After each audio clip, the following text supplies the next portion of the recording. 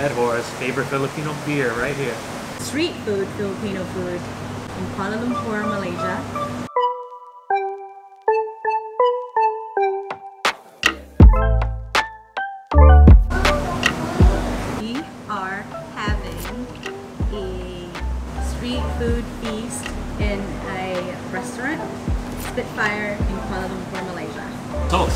This spot is very rare, even in New York City where there's a lot of great Filipino food. You, know, you can check out our video up here of New York City Filipino food. We're gonna put a card up here. Not easy to get Filipino barbecue, and when you do, not easy to get it with charcoal in a restaurant, no less. So feels like we're on the streets here in the Philippines eating it like this. We got all the good stuff. Isaw, we have liempo, we have pork um, barbecue, we have ears and garlic rice and white rice it's filled with chicken oil and we have sisig, we have bangus, and then we have more sawsawan, and we have red horse, and we have more coming. We're eating right on the banana leaves too, traditional boodle fight style, water hands. And of course, barbecue, beer, unbeatable combination. Especially in the Philippines, had many nights where I was swigging down these red horses.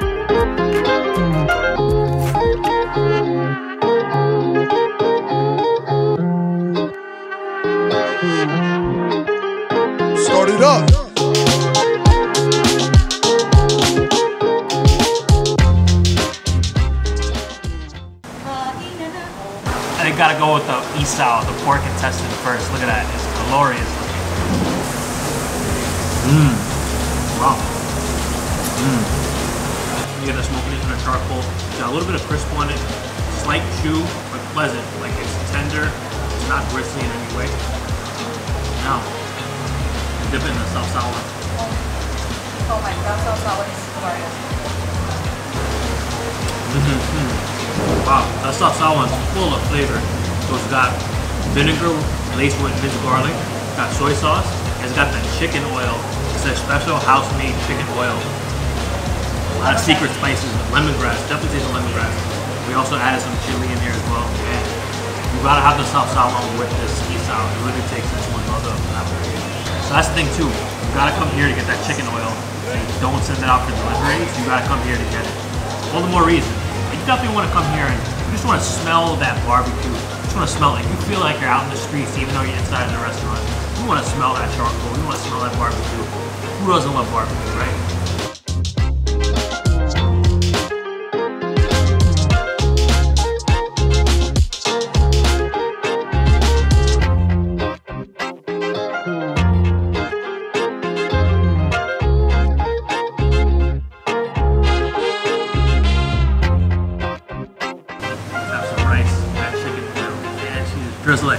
Oil all over the rice. There it is. Mm. That chicken oil is just ridiculous. It's, wow. That's how you want your rice. Doused in chicken oil. It's a really nice orange color. Next to pick up. It's the pork ears. And it's also, it looks like there's pork belly on here too.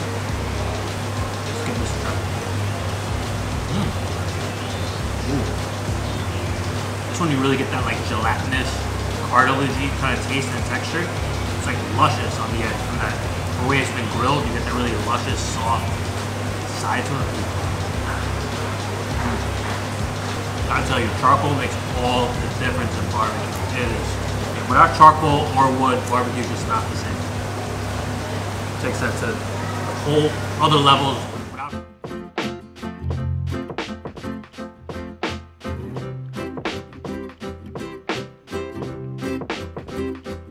Beauty right here, this liempo. You can eat it just like this. It's like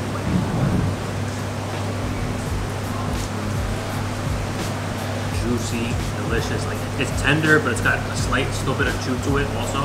It's really well balanced, and you got this nice layer of fat. Let's take a bite of that.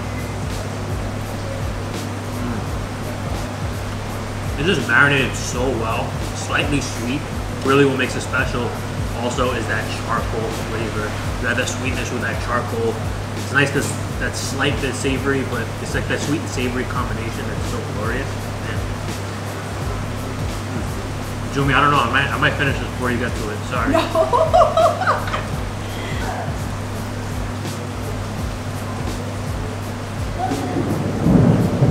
Well, so now we got it's the last barbecue here of the pork. The pork barbecue. So you see here, you got the pieces of the pork. It's more of like the leaner pieces mixed with a piece of fat, a big piece of fat at the head. So you have that really nice mixture here. smells delicious. Mm. I like this one too. It's like a little simpler on the marinade, so it doesn't have like an overwhelming amount of like spices like lemongrass and such. So you can really taste the charcoal just embedded in that pork. But for the sasao because man, the sasao is good. I'm telling you that chicken oil is something genius. So you have that chicken fat, lemongrass, all this like just drink it. I can just drink it out of the bottle. That's how good it is. The barbecue here is just on point.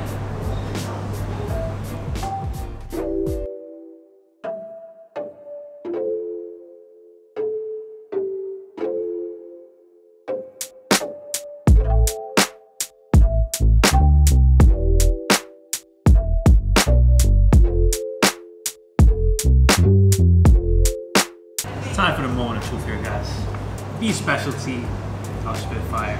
It's very special, and you're gonna see why very soon because this is the chicken inasal. It's been grilled. It's got a lot of spice in here from the lemongrass. Oh, I can't talk about it. Just get a bite. This is the leg, so you get the whole drumstick thigh combo right here. The meat is just hanging off the bone. The skin is so nice and crispy from beyond the grill. The charcoal flavor, but man, that lemongrass. You can see the shards of lemongrass just coming right off that chicken. The lemongrass is just perfection. If you watch us for a little while, you know we love lemongrass. So this is very simply marinated. I'll come from Bacolod, Visayas region of Philippines. Water actually hails from so that's also so good. But this is very simply marinated. So the flavor is not simple, but the marinade is. So it's just lemongrass, soy sauce, calamansi. That's it. Chicken is just so juicy. Just that flavor, that lemongrass is really what makes this inasal so special. The uh, chara is the pickled shredded papaya, carrot.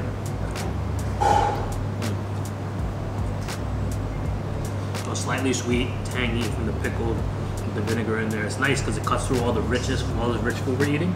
So it goes pairs really well with inasal. Just sell buckets of this inasal. Just this grilled chicken inasal by the bucket. Could not go wrong.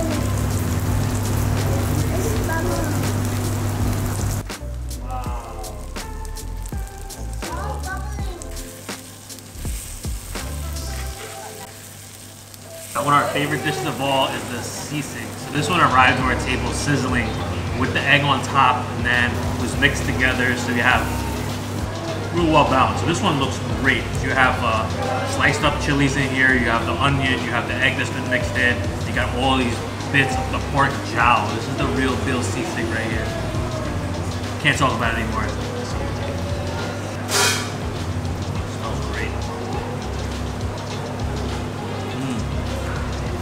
But after that first bite, I realized we gotta add the calamansi. It's a must for a seasoning. So, squeeze that on.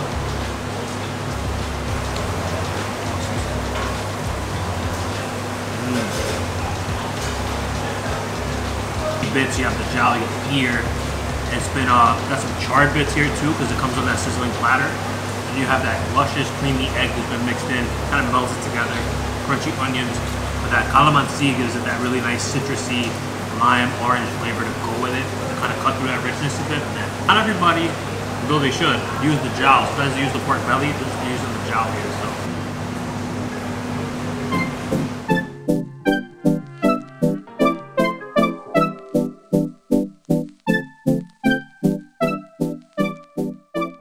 Uh, Spitfire Filipino Kitchen. We opened the Spitfire Filipino Kitchen the December 24 of 2019.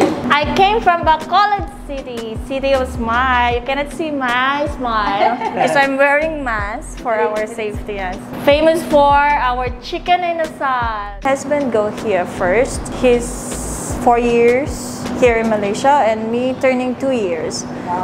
I work as a um, uh, staff in a Italian restaurant and a Northern Indian Persian food. What really inspires me is like uh, to bring my own recipe here, to bring our own food here from Philippines. Yeah, it popped up on our mind that we're gonna put inasal here in Malaysia since like uh, this one is like uh, new and it's like uh, very unique because uh, when I took over this, it comes with a big griller, so it popped up on my mind to put chicken inasal of of Bacolod City. I'm gonna give my recipe, but not all. Have a chicken. Uh, the sauce is made by lemongrass, uh, calamansi, soy sauce. This is the only three. Uh, if you're gonna make a chicken oil, the best one, and they really like the chicken oil, it's like you feel like you're in Bacolod City. It's because of the chicken oil.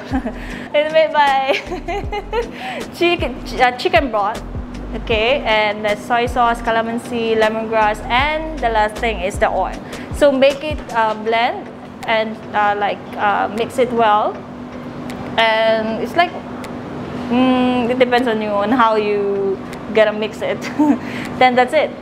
It's nice with uh, if you're gonna eat the chicken inasal, you're gonna put a soy sauce, chili padi, calamansi, uh, uh, the the vinegar that we call it suka. The suka is already made by our own recipe also. Even the suka, we made it our own. Even the soy sauce, we made it our own. Family recipe. Uh, it came from my father because my father is a chef. So he taught me how to cook a inasal, other food of Filipino food. Actually, he taught me how to cook also uh, Italian food, Japanese food, but mostly like uh, as a typical from province of Bacolod City, we we only cook like a simple dish like pinakbet, like the tinolang manok, sinigang, and most importantly the inasal. Usually, if you have a charcoal in uh, one like we call it paso, we put a charcoal there and we put the liempo, the, the pork barbecue, the chicken and the asal, and we make our own. So when I took over this and I have my restaurant, um, that's that's the one thing that I really want to put my my my my food here. And as and my husband also. My husband also helping me to put a Filipino food here because he's very good in cooking he is an engineer but he is really good at cooking. Yeah. Not uh, easy but we have to move forward. I mean move forward for like for the future of our kids also like this. And we want to see uh, like how far we're gonna gonna have this restaurant. Like maybe hope people will like our food also. Chicken oil. chicken oil the best.